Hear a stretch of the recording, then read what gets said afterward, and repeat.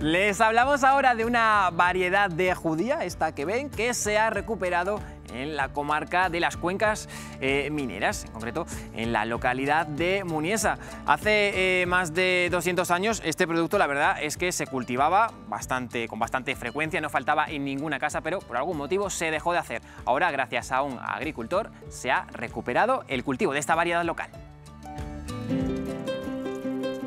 Recuperar y volver a sembrar la judía blanca de Muniesa. Ese ha sido el objetivo de un agricultor de esta localidad turolense con la ayuda del CITA.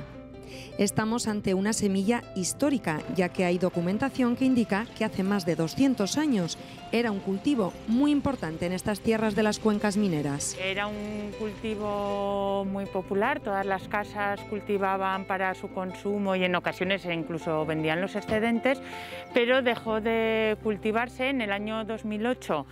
Eh, Félix Jus nos trajo semillas de esta variedad para conservarla en el banco de germoplasma hortícola y posteriormente cuando ya encontramos financiación para volver a recuperar el cultivo, ha sido cuando hemos encontrado la oportunidad para hacer ensayos que nos permitan recuperar la, variedad e incluso llegar a comercializarla. Es una judía adaptada al secano, a esta zona que además eh, se caracteriza por tener un clima bastante extremo. Bueno, eh, os presento, esta es la, judía autóctona de aquí de Muniesa. Eh, es una judía de tamaño medio, es muy mantecosa y actualmente soy el único agricultor de aquí de Muniesa que se dedica a cultivar esta judía en plan de, para, para, fuera de casa.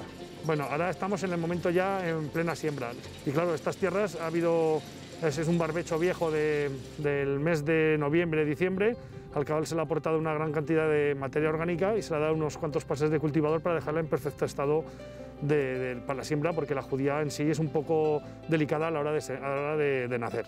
Esta siembra la recolectaremos, dependiendo del tiempo, eh, sobre el 15 o el 20 de, octubre. Eh, ahora mismo somos los únicos comercializadores de, la judía. Entonces esta judía va mucha a consumo de cercanía, de aquí de los alrededores, pero este año ya hemos hecho exportaciones. Ha ido al Vaticano, ha ido a Madrid, a Barcelona.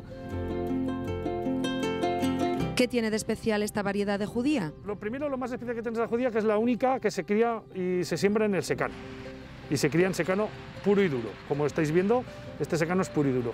Segundo, es, no tiene piel, es muy, muy mantecosa y muy, muy sabrosa. Es una judía que no hace falta ponerla a remojo el día anterior nos va a acompañar el tiempo y eh, preveemos una buena cosecha de judías de Muniesa.